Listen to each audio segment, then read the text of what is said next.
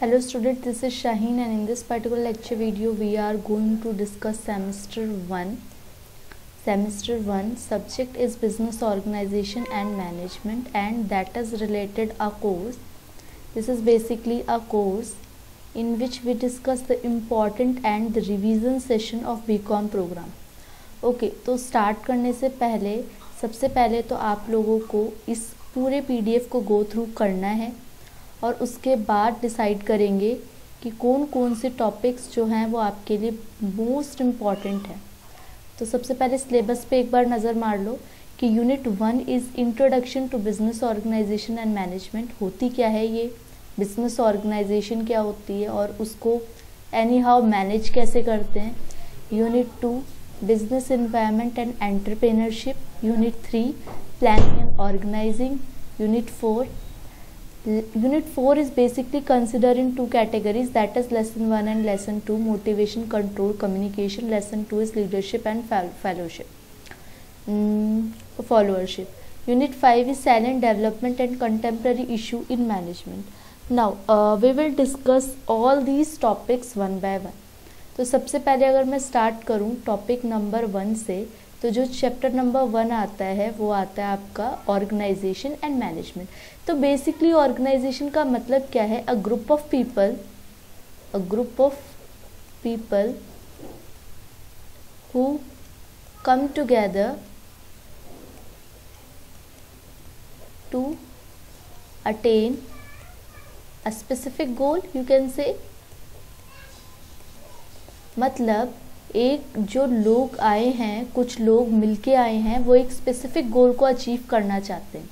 और management is basically managing things जब हम चीज़ों को मैनेजिंग थिंग्स चीज़ों को जब हम असेंबल करते हैं, एक साथ रखते हैं, उसके अंदर बहुत सारे एफर्ट्स डालते हैं and that is also related to achieving the goal वो भी एक गोल को अचीव करने के लिए। ठीक है? तो ये बेसिकली आपकी ये सारी चीज़ें हैं, जो आप डिस्कस करोगे वन बाय वन ऑर्गेनाइजेशन और मैनेजमेंट में। तो सबसे पहले इसके ऑब्जेक्टिव्स की तरफ़ ध्यान दें तो हम डिस्कस करेंगे रिलेशनशिप ऑर्गेनाइजेशन और मैनेजमेंट में। बहुत सारी चीज़ें समझते हुए चलेंगे मल्टीपल प्रस्पेक्टिव देखेंगे।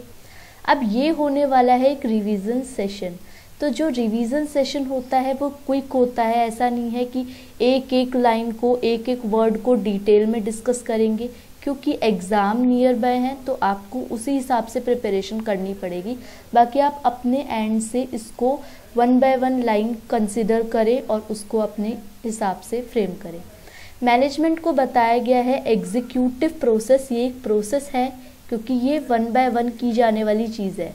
एक स्टेप किया, फिर दूसरा स्टेप फिर तीसरा स्टेप जैसे प्लानिंग करते हैं, फिर ऑर्गेनाइज करते हैं उसको, फिर प्लानिंग ऑर्गेनाइजिंग फिर स्टाफिंग फिर डायरेक्टिंग करते हैं, जो हम कहीं ना कहीं आपको याद होगा आपने क्लास ट्वेल्थ में पढ़ते हुए आए हो। मैनेजमेंट वहाँ पे पढ़ा हुआ था। तो मैनेजमेंट का मतलब है process of things done to accomplish goal and objective of business अगर आप अपने बिज़नेस का एक ऑब्जेक्टिव एक गोल को सेट कर रहे हो, उसको अचीव करना चाहते हो और उसके लिए बहुत सारे एफर्ट्स डाल रहे हो तो दैट इज़ मैनेजमेंट अब मैनेजमेंट के काफ़ी सारे फ़ंक्शन है, जैसे मैंने आपको अभी बताया स्टेप्स होते हैं एक एक करके फॉलो करना पड़ता है। तो फ़ंक्शन है सबसे पहले प्लानिंग स्टाफिंग डायरेक्टिंग कंट्रोलिंग तो इनको सबको फॉलो करना ज़रूरी है। ऐसे नहीं कि आप बिना प्लानिंग के स्टाफिंग कर लोगे, बिना प्लानिंग के ऑर्गेनाइजिंग कर लोगे। ठीक है, ये स्टेप मिसिंग है, इसमें इसको कंसिडर करना ज़रूरी तो हमने अब ये पढ़ लिया। ऑर्गेनाइजेशन मैंने आपको स्टार्टिंग में ही बता दिया क्या होता है। अभी दोबारा डिस्कस करेंगे। मैनेजमेंट के बारे में इस पूरे टॉपिक के अंदर डिस्कस हो गया कि मैनेजमेंट है क्या। आगे बढ़ते हैं। अब इन्होंने ऑर्गेनाइजेशन के बीच में और मैनेजमेंट के बीच में एक रिश्ता बताया रिलेशनशिप बताया। ऑर्गेनाइजेशन क्या है? ऑर्गेनाइजेशन का मतलब लेबर मटेरियल कैपिटल इंफॉर्मेशन और एनर्जी ये सब कुछ ह्यूमन से मिलेगी आपको। और ह्यूमन को असेंबल करके जब प्लानिंग करोगे ऑर्गेनाइजिंग करोगे स्टाफिंग करोगे डायरेक्टिंग कंट्रोलिंग ये सब प्रोसेस परफॉर्म करोगे तो वो मैनेजमेंट आएगा। तो step number one step number two आप बोल सकते हो। ऑर्गेनाइजेशन में मैनेजमेंट बहुत ज़रूरी है। बिना मैनेजमेंट के ऑर्गेनाइजेशन के ऑब्जेक्टिव्स को अचीव नहीं किया जा सकता। तो somehow both the topics are similar and somehow both the topics are related ना अगर मैं इसकी डिस्कशन की आगे बात करूँ तो कॉन्सेप्ट में बोल रखा है ऑर्गेनाइजेशन वो ढांचा है, एक स्ट्रक्चर है, जहाँ पे कोऑर्डिनेट और कॉपरेट किया जाता है इंटर रिलेशन को। जहाँ पे वर्कर और मैनेजमेंट एक साथ काम करते हैं अपने ऑब्जेक्टिव्स को पूरा करने के लिए। और मैनेजमेंट का मतलब है काम को पूरा करना और वो सही तरीके से with minimum cost minimum cost and maximise maximum profit profit maximum हो और जो कॉस्ट हो वो मिनिमम हो। मैनेजमेंट क्या करता है? Management integrate submission of several activities बहुत सारी एक्टिविटीज़ को एक साथ लेके आता है, जैसे plan organisation staffing then directing motivating तब जाके आप अपने ऑब्जेक्टिव्स को फुलफिल कर पाते हो। जबकि organisation is one of the various functions of management management का ऑर्गेनाइजेशन एक हिस्सा है। देख रहे हो? तो management is a broader term इसको आप ब्रॉड टर्म बोल सकते हो क्योंकि मैनेजमेंट के अंदर ऑर्गेनाइजेशन एक हिस्सा है। ठीक है? As a part of management organisation क्या मदद कर रहा है? Organisation helps to execute its own other function और भी बहुत सारे फ़ंक्शंस को परफॉर्म करने की हेल्प कर रहा है। Behaviour of the activity behaviour क्या है? Organisation structure lines of authority are created and responsibilities are delegated देखो ऑर्गेनाइजेशन में जब आप काम कर रहे हो, ये ए ऑर्गेनाइजेशन है। तो इसके अंदर बहुत सारे एम्प्लॉयज़ काम कर रहे होंगे वेरियस वेरियस डिपार्टमेंट में। ये एक्स डिपार्टमेंट है, ये वाई डिपार्टमेंट है। इसके अंदर प्रोडक्शन हो रहा है, इसमें सेल्स हो रहा है, ठीक है? तो ये अपने अपने डिफरेंट डिफरेंट टाइप से काम कर रहे हैं। अब डिफरेंट डिफरेंट टाइप से काम कर रहे हैं तो इनकी कुछ रिस्पॉन्सिबिलिटी होगी, कुछ अथॉरिटी होगी। अब authority means is distributing of powers basically authority का मतलब है पावर्स को डिस्ट्रीब्यूट करना। और रिस्पॉन्सिबिलिटी का क्या मतलब है? जब आप पावर्स को डेलीगेट कर देते हो, किसी एक इंसान को दे देते हो और बोलते हो कि now you are responsible for this अब आपको इस ज़िम्मेदारी को संभालना है। ठीक है पावर्स को डिस्ट्रीब्यूट करना। That is responsibility the functions of management and administrative activities including planning and estimation and paper work management का क्या काम है? कि बहुत सारी एक्टिविटीज़ को एक साथ लेके आओ, जैसे कि प्लानिंग हो गई, बहुत सारा पेपर वर्क होता है और भी बहुत सारे काम होते हैं स्टाफ को कलेक्ट करना, ये सब. फ़ंक्शंस क्या है? और जो मैनेजमेंट का ऑब्जेक्टिव है वो क्या है? Direct and supervise the completion of delegated work by subordinate employ and to give necessary direction for getting the desired result अब आपसे जो सीनियर बैठा हुआ है, उसको रिज़ल्ट देना, ये ए है। इसके ऊपर बी मान लो पर्सन है सी इससे अपनी रिस्पॉन्सिबिलिटी इससे अपनी जो भी पावर्स है, वो कलेक्ट करना, इसकी ड्यूटीज़ को फुलफ़िल करके अपने सुपीरियर्स तक वो पहुंचाना। ठीक है, इसको पहुंचाना is is basically the part of management organisation aim at performing the plan activities through creating paper work environment paper work अब ऑर्गेनाइजेशन का क्या काम है? ये जो प्लान एक्टिविटीज़ है, इसको पेपर वर्क में बनाना। ऑर्गेनाइजेशन का स्कोप नैरो होता है because, as I said earlier, कि जो मैनेजमेंट है, वो एक ब्रॉडर टर्म है, मैनेजमेंट के अंदर ऑर्गेनाइजेशन आता है। और ये इंटरकनेक्टेड क्यों है? क्योंकि the setting up of efficient and effective effective and efficient organisation structure depend on efficient and competent management. Organisation तभी अच्छा काम करेगी जब मैनेजमेंट अच्छा होगा। एफिशिएंट मैनेजमेंट किस पे डिपेंड करता है? स्ट्रॉन्ग ऑर्गेनाइजेशन पे। ऑर्गेनाइजेशन अच्छी होगी? Organisation basically depends on management और मैनेजमेंट अच्छा चाहिए तो ऑर्गेनाइजेशन का भी अच्छा होना ज़रूरी है। Composition managers are component of management who are drivers also manager कौन हो गए? जो मैनेजमेंट कर रहे हैं। मैनेजमेंट करने वाले इंसानों को मैनेजर्स बोलेंगे। और जो ऑर्गेनाइजेशन स्ट्रक्चर्स में काम कर रहे हैं, वो हो गए वर्कर्स वो सेल्फ पार्टिसिपेटरी होते हैं. ना इंडिविजुअल परस्पेक्टिव ऑन ऑर्गेनाइजेशन अगर हम एक इंसान के, देखो अलग अलग नज़रिए हो सकते हैं एक चीज़ को देखने के। तो अगर इंडिविजुअल के परस्पेक्टिव से देखें तो क्या है? Multiple perspective are various view of an organisation multiple views are bound to rise because organisation is a model of large number of constituent एक तो कॉन्स्टिट्यूएंट है नहीं, बहुत सारे कॉन्स्टिट्यूएंट से मिलके आपका ऑर्गेनाइज ऑर्गेनाइजेशन बनाए। तो ऑर्गेनाइजेशन के कुछ पॉजिटिव और कुछ नेगेटिव इफ़ेक्ट्स हो सकते हैं ओपिनियंस हो सकते हैं। अब ये क्या है? जैसे कि multiple perspective of an entrepreneur positive effect क्या है? अकाउंटेबिलिटी जब आप एक ऑर्गेनाइजेशन में आते हो देन यू आर रिस्पॉन्सिबल इसको हिंदी में कहते हैं जवाबदेही। इसका मतलब क्या है कि अगर आपको कोई रिस्पॉन्सिबिलिटी दी गई है, सबसे पहले अकाउंट सबसे पहले आता है आपका अथॉरिटी वेट अ सेकेंड सबसे पहले वर्ड आता है authority then the word is related to responsibility responsibility. And that is related to accountability. अब ये है क्या? तीनों टर्म बता देती हूँ. जब आप किसी भी इंसान को एक्स वाई जेड किसी को भी पावर्स डिस्ट्रीब्यूट करते हो तो you are distributing the powers to X Y Z person जब आप पावर्स को डेलीगेट करते हो डिस्ट्रीब्यूट करते हो then the X Y Z person is responsible for that work जैसे कि ए ड्यूटी ए असाइन कर रहा है बी को कि आपको कल मुझे रिपोर्ट सबमिट करनी है। तो इसने क्या किया? अपनी अथॉरिटी को डेलीगेट कर दिया इस पर्सन को। अब ये पर्सन रिस्पॉन्सिबल है। अब कल को अगर ये रिपोर्ट सबमिट नहीं किया तो क्या होगा? ए ए इससे क्या पूछेगा? सवाल पूछेगा कि वो रिपोर्ट्स कहाँ हैं? Then B is accountable for all this responsibility B को जवाब देना पड़ेगा कि हाँ ये काम ऐसे नहीं हुआ या रिपोर्ट सबमिट नहीं हुई तो what is the reason now An organization structure brings the required level of stability in enterprise without it become rigid. क्योंकि वो rigid नहीं हो सकती आप कभी भी एक ऑर्गेनाइजेशन में फॉलो करोगे तो that the organisation is not followed a rigid structure ये एक डायनेमिक स्ट्रक्चर फॉलो करता है फ्लेक्सिबल स्ट्रक्चर फॉलो करता है चेंजिंग होता रहता है तो इसीलिए you are accountable and you are responsible for all that group functioning group functioning क्या है?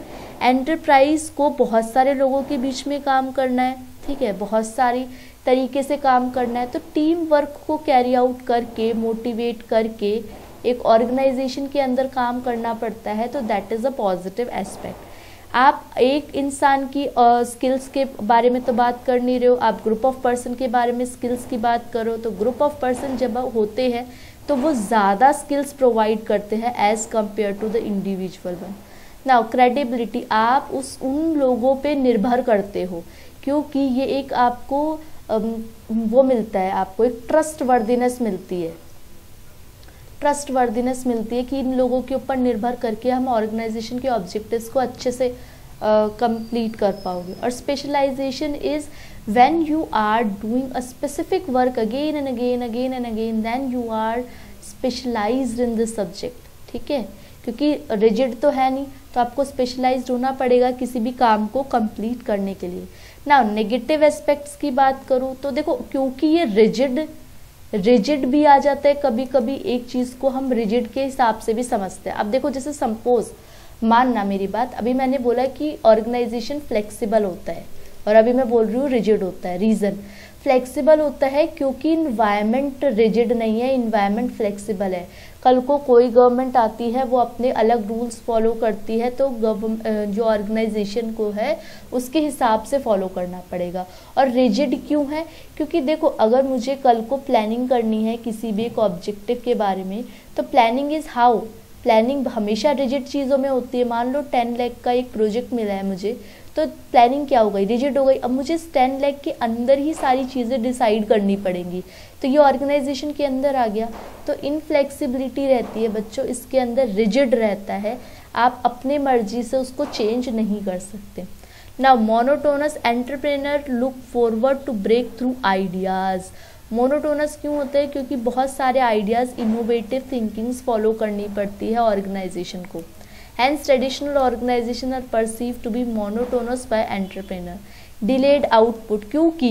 Because organisation are a hub of various people group of people तो ग्रुप ऑफ़ पीपल इतने इजीली डिसीज़न नहीं लेंगे. टाइम कंज्यूमिंग भी होगा और delay in work भी होगा और कॉस्ट कटिंग भी ज़्यादा होगी इसमें. कॉस्ट भी ज़्यादा लगती है.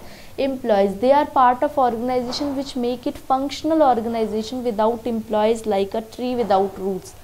अगर आप एक ऑर्गेनाइजेशन का हिस्सा हैं विच मेक इट फंक्शनल जो कि फंक्शनल रहता है ऑर्गेनाइजेशन में विदाउट एम्प्लॉयज़ एम्प्लॉय के बिना आप काम नहीं कर पाओगे एम्प्लॉय रूट्स हैं ट्री का तो ये अब पॉजिटिव प्रस्पेक्टिव इस तरीके से आ गया। तो देखो, अभी भी हम नेगेटिव प्रस्पेक्टिव ऑफ़ ऑर्गेनाइजेशन पढ़ते आए हैं, है ना? Positive prospective on business business पे क्या क्या फ़र्क पड़ता है?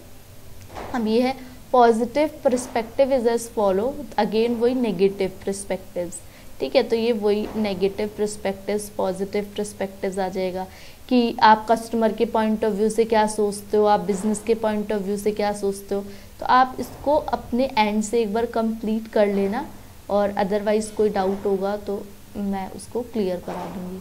नेक्स्ट टॉपिक की अगर मैं बात करूँ तो that is underline subject in the study of an organisation जब एक ऑर्गेनाइजेशन में आप एंटर करते हो तो you have to study various various subjects like finance है ना? फाइनेंस की स्टडी करोगे आप? फाइनेंस फाइनेंस और ऑर्गेनाइजेशन हैंड टू हैंड चलता है, क्योंकि ऑर्गेनाइजेशन को वर्क करने के लिए फाइनेंस की ज़रूरत होती है। फाइनेंस डे टू डे भी चाहिए फाइनेंस की ज़रूरत पड़ेगी डे टू डे भी। डे टू डे एक्टिविटीज़ को फॉलो करने के लिए भी, जिसको वर्किंग कैपिटल कहते हैं, और लॉन्ग टर्म के लिए भी चाहिए शॉर्ट टर्म के लिए भी चाहिए फाइनेंस तो ज़रूरी चाहिए। Organisation as a subject of psychology अब देखो, इसके अंदर behaviour organisation is made up of people people is influenced by their behaviour and behaviour is anyhow influence organisation ठीक है? ऑर्गेनाइजेशन सोशोलॉजी भी आ जाता है क्योंकि ये सोशल स्ट्रक्चर से, लोगों से बना हुआ है तो सोसाइटी से बना हुआ है तो ऑर्गेनाइजेशन उसमें कंसिडर किया जाएगा। और ऑर्गेनाइजेशन कनेक्ट विद ऑन्थ्रोपोलॉजी तो ये क्या है? एंथ्रोपोलॉजी का मतलब है मैन मेड जो ऑर्गेनाइजेशन होता है, वो मैन मेड चीज़ों से बना हुआ है है ना? तो इस concern with interaction between people and cultural environment तो कल्चर किससे इन्फ्लुएंस होता है? ऑर्गेनाइजेशन के स्ट्रक्चर से, फिर again behaviour of people political science भी आ जाता है। Political science find special relevance in organisation क्योंकि पॉलिटिकल ओपिनियन इसके अंदर आते हैं। Leadership how government how the political government influence the organisation वो सब आ जाते हैं। इकोनॉमिक्स के ऊपर भी डिपेंड करता है ऑर्गेनाइजेशन इकोनॉमिक्स बोल लो या फाइनेंस बोल लो ऑर्गेनाइजेशन का पार्ट है। रीज़न इज़ प्रोडक्शन करना हो, चाहे डिस्ट्रीब्यूशन करना हो कंजम्पशन करने हो गुड्स के, ये सब ऑर्गेनाइजेशन के अंदर आ जाते हैं। ना organisation is deals with the technology क्योंकि आप लोग देखते होंगे कि टेक्निक जो टेक्नोलॉजी है, वो डे टू डे चेंज होती रह रही है। तो ऑर्गेनाइजेशन को भी टेक्नोलॉजी के हिसाब से ही चलना पड़ता है otherwise organisation will lack of different different things engineering as underlying subject of organisation क्योंकि इंजीनियरिंग इन्फ्लुएंस करती है ऑर्गेनाइजेशन की स्टडी को। ठीक है work measurement productivity measurement work design job design labour relation ये सब किसमें आते हैं? इंजीनियरिंग में। मेडिसिन भी with the rising lifestyle and employment और जॉब क्योंकि जब हम ऑर्गेनाइजेशन की बात करते हैं तो पीपल की बात करते हैं एम्प्लॉयर की बात करते हो। एम्प्लॉयर वर्क करते हैं एक ऑर्गेनाइजेशन के अंदर, जो कि किससे रिलेटेड है? जॉब जॉब किससे रिलेटेड है? जॉब में हेल्थ प्रॉब्लम्स रिलेटेड है। तो that is why medicine is also a subject related to organisation अब ऑर्गेनाइजेशन में साइज़ की बात करूँ तो there are different different types of organisation that is micro small medium large micro कौन सी ऑर्गेनाइजेशन है, होती है, जिसके अंदर limit of twenty five lakh पच्चीस लाख से कम। फॉर सर्विसेज़ अगर सर्विसेज़ की बात करूँ तो have equipment up to ten lakh अगर ऑर्गेनाइजेशन मैन्युफैक्चरिंग प्रोसेस है तो उसकी इन्वेस्टमेंट ट्वेंटी फाइव लैख तक होगी तो माइक्रो के अंदर आएगी और सर्विस दस लाख तक की होगी। स्मॉल ऑर्गेनाइजेशन की बात करूँ तो इसके अंदर प्लांट एंड मशीनरी 25 लाख से 5 करोड़ तक हो सकती है। और अगर सर्विस की बात करूँ तो 10 लाख से 2 करोड़ तक हो सकती है। और अगर मीडियम ऑर्गेनाइजेशन की बात करूँ तो 5 करोड़ से 10 करोड़ तक। और अगर सर्विस की बात करूँ तो 2 करोड़ से 5 करोड़ तक। लार्ज ऑर्गेनाइजेशन ये सब नोट करते जाओ पॉइंट लार्ज ऑर्गेनाइजेशन की बात करूँ तो 10 करोड़ से ज़्यादा और invest equipment investment is five crore और मोर तो इसकी थोड़ा मैं लिख देती हूँ ताकि आप लोगों को इजी रहे। ये है micro small medium large micro में 25 लैख ये गुड्स की बना रही हूँ। ठीक है? स्मॉल अगर मैं स्मॉल की बात करूँ 25 लाख से 5 करोड़ मीडियम की बात करूँ तो पाँच करोड़ से दस करोड़, और अगर लार्ज की बात करूँ तो दस करोड़ से ज़्यादा। और अगर आप सर्विसेज़ की बात करते हो सर्विसेज़ तो इसमें टेन लैक्स तक अप टू अप टू भी लिख लो अप टू इसमें भी अप टू फिर इसके अंदर कितनी आ गई? टेन लैख से टू करोड़, इसमें कितनी आ गई? टू करोड़ से फाइव करोड़ और इसमें आ गई फाइव करोड़ से ज़्यादा। ठीक है? अब मीडियम स्मॉल और माइक्रो स्मॉल मीडियम एंटरप्राइज इसके बारे में हम लोग नेक्स्ट क्लास में डिस्कस करेंगे और अभी बहुत सारे टॉपिक बचे हुए हैं। इनको वन बाय वन डिस्कस करेंगे एंड होपफुली अब मैं अपडेटेड रहने वाली हूँ और रेगुलर बेसिस पे आप लोगों के लिए वीडियोस अपलोड करूँगी। सो स्टे ट्यून चैनल को सब्सक्राइब करो ताकि आप लोगों को नोटिफिकेशन टाइम टू टाइम मिलती रहे। And thank you for watching and be happy